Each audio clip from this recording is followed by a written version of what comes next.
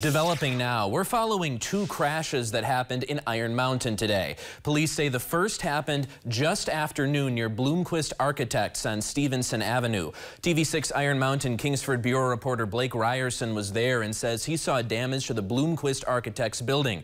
Police say the driver had a medical condition which led to the crash. Witnesses on scene say the driver seemed unconscious. The vehicle drove forward onto the curb, hitting a flower pot, a fire hydrant, and a building. The driver was transported to Marshfield Medical Center Dickinson and is in stable condition. Then about a half an hour later, the Iron Mountain police tried to pull someone else over. That person drove away from the officer and hit a parked and unoccupied pickup truck.